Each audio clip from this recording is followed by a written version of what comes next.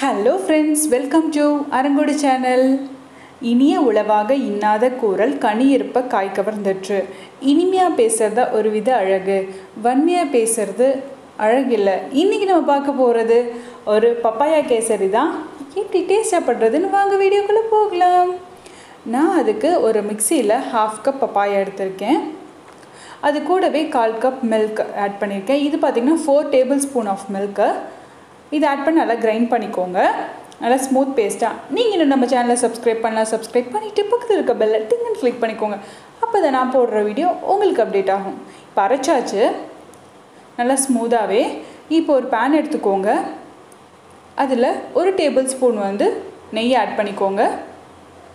அது கூடவே நான் பாதாம் முந்திரி கட் பண்ணி வச்சுருக்கேன். அதை ஆட் பண்ணிக்கிறேன். கொஞ்சம் நிறமானோன்னு எடுத்துக்கலாம். அதனால் ஃப்ரை பண்ணிக்கோங்க. இந்த பப்பாளி ஃப்ளேவர் பிடிக்காதவங்களுக்கெல்லாம் இந்த மாதிரி செஞ்சு கொடுக்கலாம். ரொம்ப டேஸ்ட்டாக இருக்கும். ஃப்ளேவரே தெரியாது. பப்பாளி கேசரியான்னு கேட்பாங்க. அந்த அளவுக்கு இருக்கும். இதெல்லாம் ஃப்ரை பண்ணிக்கோங்க. பப்பாளி வந்து பார்த்திங்கன்னா இந்த டயபெட்டிஸ் பேஷண்ட்ஸ்க்கெலாம் வந்து ஒரு நல்ல ஃப்ரூட்டு ஸோ வந்து இந்த மாதிரி கூட அவங்களுக்கு செஞ்சு கொடுக்கலாம். நம்ம வந்து சுகர் வந்து ஹாஃப் சுகர் போட்டு கூட அவங்களுக்கு செஞ்சு கொடுக்கலாம். நல்லா டேஸ்ட்டாக இருக்கும். இப்போ இது ஃப்ரை ஆகிடுச்சு இது ஒரு பிளேட்டில் மாற்றிக்கலாம் நம்ம. அதே இதில் அதே இதில் வந்து இப்போ ரவை ஆட் பண்ணிக்கலாம். ஒரு ஹாஃப் கப் இது பார்த்திங்க எயிட் டேபிள் ஸ்பூன் ஆஃப் வந்து ரவை எடுத்திருக்கோம்.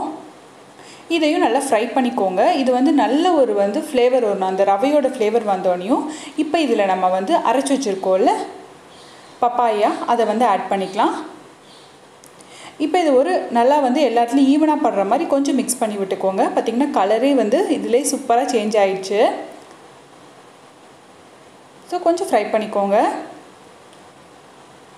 ஸோ இது ரெண்டுமே வேகிறதுக்காக இப்போ நம்ம வந்து வாட்டர் ஆட் பண்ணிக்கலாம். நீங்கள் எந்த கப்பில் வந்து ரவை அளக்குறீங்களோ அந்த கப்பில் வந்து ரெண்டு கப் அளவுக்கு வந்து வாட்டர் எடுத்துக்கோங்க. அது கூடவே இன்றைக்கி நான் என்ன பண்ணியிருக்கேன் கேசரி பவுடர் நல்லா மிக்ஸ் பண்ணி இதில் ஆட் பண்ணியிருக்கேன் அப்போ தான் ஈவனாக மிக்ஸ் ஆகும்.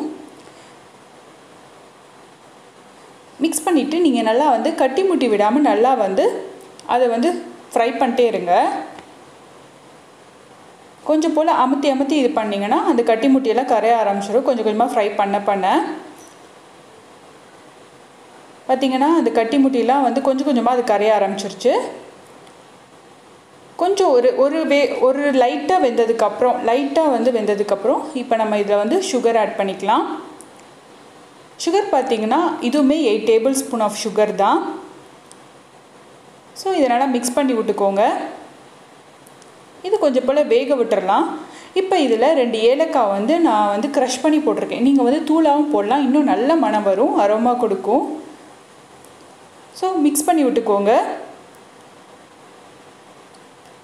கொஞ்சம் ஒரு அஞ்சு நிமிஷம் போல் விட்டுட்டிங்கன்னா அதுக்கு நல்லா வந்து வேக ஆரம்பிச்சிடும். அந்த சுகரை நம்ம ஆட் பண்ணதுக்கப்புறம் இஞ்சி ஆரம்பிச்சிடும். ஸோ பார்த்திங்கன்னா அந்த லாஸ்ட்டாக நல்லா வந்து இஞ்சி வரும்போது தான் நம்மளோட கேசர் ரெடி ஆகிடும் பார்த்திங்கன்னா இந்த அளவுக்கு பதம் வர ஆரம்பிச்சிருச்சு இஞ்ச ஆரம்பிச்சிருச்சு. ஸோ பார்த்திங்கன்னா நம்மளோட கேசரி பதம் நல்லாவே வந்துடுச்சு. இப்போ இதில் நம்ம ரோஸ் பண்ணி வச்சுருக்கோம்ல கேஷ்யூ அண்ட் பாதாம் அதை வந்து இப்போ கார்னிஷ் பண்ணிக்கிறோம். இப்போ நம்மளோட பப்பாயா கேசரி ரெடி ஆகிடுச்சு இந்த வீடியோ உங்களுக்கு பிடிச்சிருந்தா மறக்காமல் லைக் பண்ணுங்கள் ஷேர் பண்ணுங்கள் கமெண்ட் பண்ணுங்கள் மறக்காமல் சப்ஸ்கிரைப் பண்ணுங்கள் நெக்ஸ்ட் வீடியோவில் உங்களை மீட் பண்ணுறேன்